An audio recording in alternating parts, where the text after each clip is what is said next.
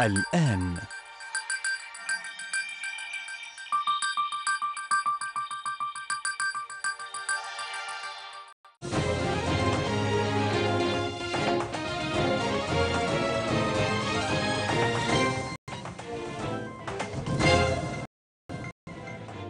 موجز لها مؤخر الأخبار يأتيكم من ميسات. أهلا بكم. عقدت الحكومة اجتماعها الأسبوعي برئاسة الدكتور مصطفى مدبولي رئيس الوزراء لمتابعة عدد من الملفات وتقارير الوزراء ويعقب الاجتماع توقيع اتفاقيتي تعاون.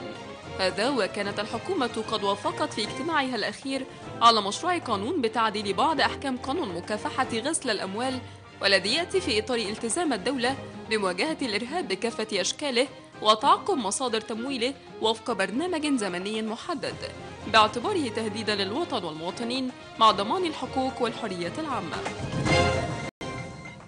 استقبل وزير التعليم العالي والبحث العلمي خالد عبد الغفار مساء أمس مساعد المدير العام لليونسكو فلاديمير ريبانيان لبحث استضافة مصر لمؤتمر إفريقيا للعلوم البحرية لأجل التنمية المستدامة. هذا وأكد عبد الغفار تسخير الإمكانات لنجاح المؤتمر وتحقيق الهدف منه في تعميق العلاقات الإفريقية خاصة في مجال العلوم البحرية. وبحث اللقاء الترتيب للإجراءات اللازمة لتنظيم المؤتمر من حيث عدد الدول المشاركة والإعداد لأجندة المؤتمر. ومن جانبه أعرب مساعد المدير العام لليونسكو عن سعادته باستضافة مصر للمؤتمر مؤكدا قدرتها على إنجاح المؤتمر بما تملكه من خبرة واسعة في تنظيم المؤتمرات الدولية. أكد نائب محافظ البنك المركزي جمال نجم تفعيل مبادرة التمويل العقاري المخصصة لمتوسطي الدخل بفائدة 10% متناقصة بجميع البنوك.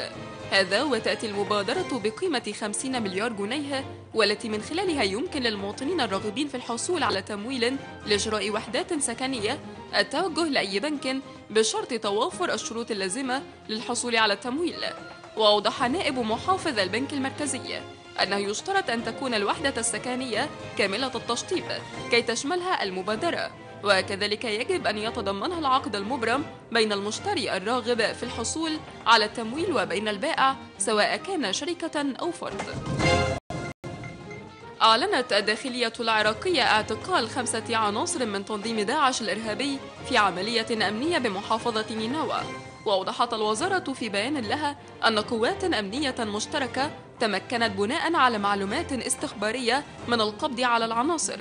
مشيرة أن من بينهم شخص يدعى أبو كندهار كان يعمل فيما يسمى بالدوريات والحواجز للتنظيم فيما عمل بقية العناصر بصفة مقاتل فيما يسمى بديوان الجند وذلك خلال فترة سيطرة التنظيم على مدينة الموصل.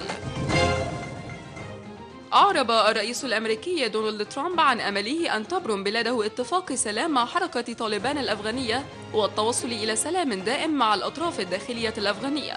وأوضح ترامب أنه يتم التفاوض مع طالبان مشيرا أن هناك فرصة لإبرام صفقة سلام. والجدير بالذكر أن الرئيس الأفغاني كان قد عقد أول أمس اجتماعا تشاوريا ثانيا مع المسؤولين العسكريين والقادة حول اتفاق سلام محتمل. حيث تشير التوقعات إلى أن الولايات المتحدة وحركة طالبان تقتربان من إعلان اتفاق وهو ما قد يمهد لمحادثات سلام بين الأطراف الأفغانية المختلفة وكذلك انسحاب القوات الأمريكية من البلاد.